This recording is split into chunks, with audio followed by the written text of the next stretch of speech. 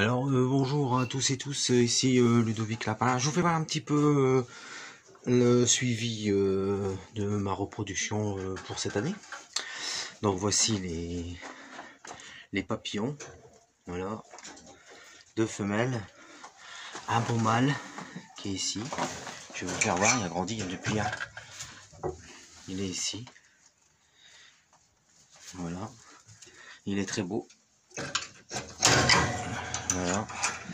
Et voici euh, bah, mon, mon mâle, fauve de Bourgogne, pour cette année. Donc là, je suis en plein euh, nettoyage. Donc au niveau de l'environnement, euh, tout ça, tout est bien fermé.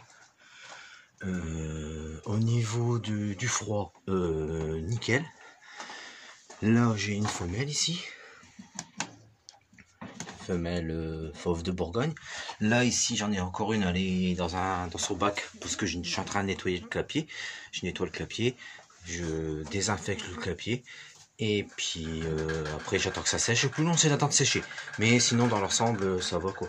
Donc, je vous fais un petit peu l'environnement. Euh, vous voyez bien, il n'y a pas de paille par terre. Voilà, il y a une poubelle, c'est normal, c'est tous les déchets que je jette. Je suis très propre et très minutieux euh, au niveau de tout ça. Donc euh, je vous tiens en courant de les situations. Normalement je devrais peut-être commencer à mettre un mal euh, soit pour le mois de mars.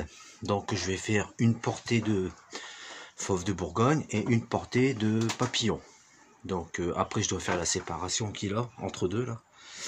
Pour moi séparer la femelle et le mâle et la femelle et la femelle de chaque côté. Puis après j'aurai une cage libre en bas Là, pour l'instant, je sais pas encore. Je vais rester comme ça. Mais je verrai par la suite. Et là aussi, c'est pareil. Euh, j'ai encore une cage de libre en bas. Donc, je voulais faire vous faire voir ça euh, aujourd'hui. Et puis, bah, bonne fête de fin d'année à tout le monde. Et surtout la santé. Et je vous tiens au courant de, de tout ça pour cette année. Allez, au revoir. À bientôt.